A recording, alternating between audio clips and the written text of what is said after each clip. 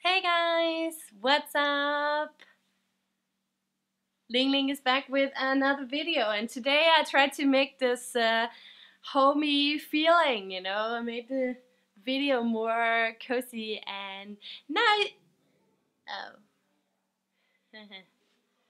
okay, my new friend here is apparently not really into being on the video. Try to set it up again.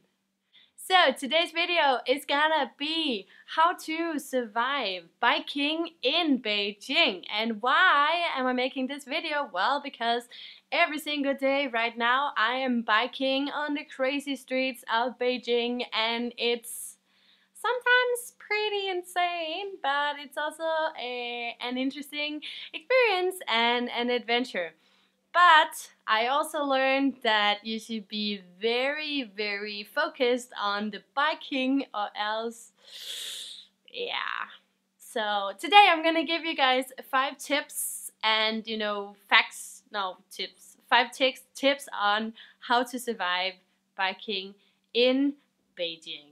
Ah, my first tip is also the most most important one always expect the unexpected in the Chinese traffic.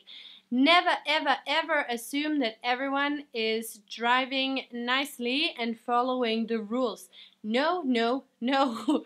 because if you expect that and you're just like, la la la, I can bike here because that's what I'm supposed to do, well, I'm sorry, but you're gonna be very disappointed in the traffic, in the Chinese drivers and don't assume anyone is going to follow the rules. It's much easier for you if you just assume that nobody knows what the rules are about. yeah, that's it sounds really dangerous. it is kind of dangerous if you don't know, but I feel like if you're just going with the flow and kind of like, you know, following the guidelines, then you'll be fine if that makes sense. I won't promise anything, but it's definitely worth a try. Tip number two is don't expect that people are seeing you when they're driving. You know, when you're on the main road and they want to drive. No, when they're driving. Well, don't expect that they see you when they're driving either, but also don't expect when they they see you when they are turning. You know, so when you're on the main road, you're biking and there's a side road and somebody wants to turn towards the side road, they have a tendency to literally just turn, not even look. I'm telling you, I'm like, how can you not see me? I'm just here, it's full daylight, like, how can you not see me? But yeah, it happens pretty often that the cars, they just turn. So if you see that somebody's turning, also they might not use the light, you know, the blink, what is that called, like the blinking light on the side. So sometimes you don't even know that they're turning. So have an eye on the traffic all the time to see if somebody looks like they're going to turn because then you either slow down or you speed up so you can get out of their way before they actually do it. Number three, tip number three is about the buses because the Chinese buses are, whoo, that's uh, that's on a, that's traffic on another level, you know. Um, when you're in the traffic, you're biking on the biking lane. Many times, very often, the biking lane is open and the buses drive into the biking lane to pick up people, uh, passengers, and then out again. So what I'm doing, if the bus is behind me, they have a tendency to honk all the time, but I don't really listen to it. I just bike and then they stay behind me because they cannot go around me. But if the bus is on my side, they have a tendency to just literally come up on your side and just go this way in front of you, which is like super scary.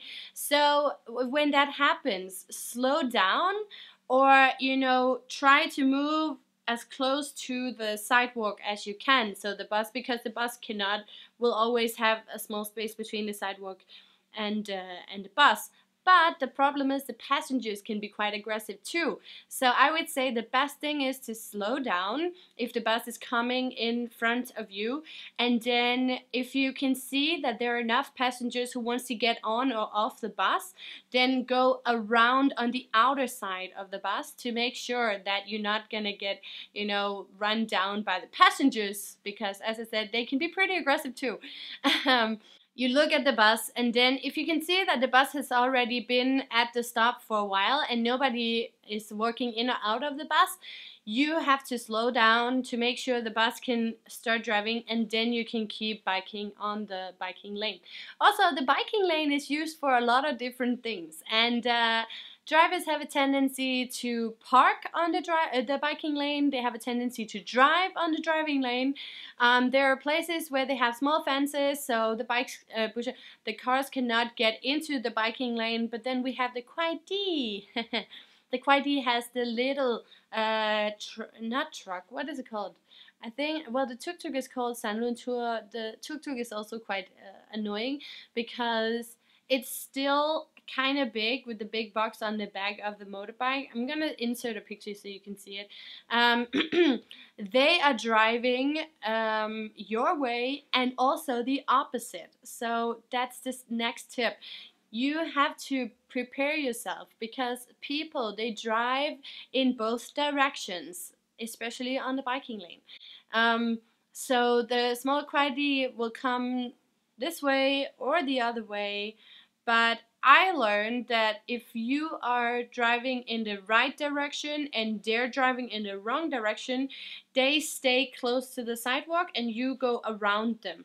And if you go for that rule all the time, you'll be fine because everyone seems to know that rule, you know, so that's just how it's working. yeah, whew. Yeah, I, I was happy, I was pretty happy about the fact that I had been walking around China and Beijing for a few years before I started biking. I feel like if you start biking here the first time you come here, good for you, but whew, of course it depends in what a part of Beijing and like if you only bike around campus, that's totally fine because there are only pedestrians, a few cars around but not many. Don't bike if you're tired or if you're nervous or if you're nervous, start somewhere a little more simple, you know, like the hutongs or um, inside campus or apartment complexes. That was tip number four. Then we have tip number five. Tip number five is that um, the Chinese drivers are honking a lot, and not even not only the drivers, also the scooter uh, people and the small things. I don't even know what all these different vehicles are called, but uh, yeah, you know what I'm talking about. There are all these different things, and uh, they really like honking. And the first time I came to China, I thought every time somebody was honking, it was because I did something wrong. Because in Denmark, you're not allowed to honk unless it's like you're in a dangerous situation or something bad is gonna happen. Very dangerous is gonna happen very soon. Whereas here, I feel like honking is a tool to make sure that everyone knows that you're coming right? So I actually realized that because I don't have a bell yet on my bike. So when I want people to know that I'm coming, I have to like yell out loud. I have to be like, "Hey!" and like, "Ah!" you know, and um, and that's the same what these other vehicles are doing they're honking all the time sometimes a little too much and sometimes just because they're annoyed of the person in front of them because the person in front of them are like i don't know driving too slowly or annoying or something, they're honking too much. But also, they use it as a tool to make sure everyone knows where everyone is at, you know, to prevent accidents. So I think that's a good thing. Just remember the honking is not because you did something wrong, it's just because they want to say, hey, I'm here, take care, I'm here. So yeah, that was my five tips for biking in Beijing. I hope you're a little bit more prepared. I hope I didn't scare the shit out of you because I know it sounds really dangerous, but I feel like, as I said, you know, if you follow the rules, well, not really the rules, if you follow the guidelines and if you're um, just very focused on what you're doing, then you'll be perfectly fine. So I hope you like this video from Ling Ling and I hope you're having a great day, evening, wherever you are in the world and I'll see you again very, very soon. Ling Ling is out. See ya and 再见. Bye bye.